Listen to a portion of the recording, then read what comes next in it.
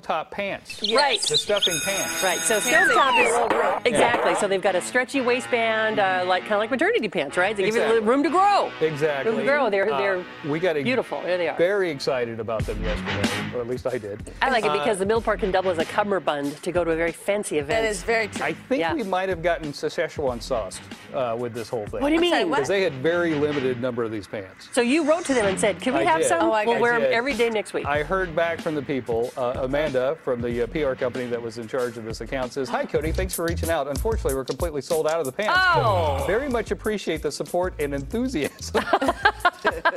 Well, no one's more enthusiastic than Good Day to wear a pair of stuffing pants for I crying out loud. well, I told her, I said, if you will overnight me the pants, I will wear them not one day, every Every- day Yeah, next every week." day next week through Thanksgiving, possibly for think- Black Friday. I think that there was like five pairs of pants because they went like that. But now they're saying we're out of the pants, but, But- unfortunately there's no leftovers of the pants. But you uh, can download these limited edition high fashion stovetop Thanksgiving dinner pants are sold out, but you can get this holiday card that you can download and send to people. that says, "I'm stuffed." See? you know, it's not the same. You can't, No, you wear, can't wear that. that. No, it's not Uh, a little same. disappointed.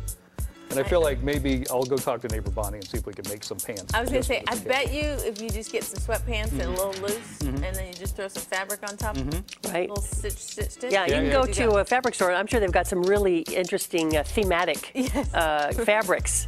And don't forget your coupon. Oh no, I never go without the coupon.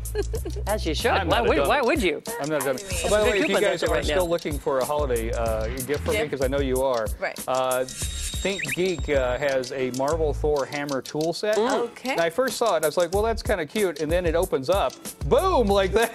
And I'm Oh, I don't think we saw I that want last. one. I don't think we saw that last time, did we, Corey? No, No, no, we didn't know it opened up. yeah. Yeah. Well, there was a, you were you were looking at a, kind of a homemade thing, right? Wasn't it a huge It huge was one? giant. Yeah. Yeah, like four feet tall. Okay, well, we need that. This makes Yeah. more sense. This is Yeah. actually useful. That's practical. yeah. What's Yeah. in So- what's, what's in there?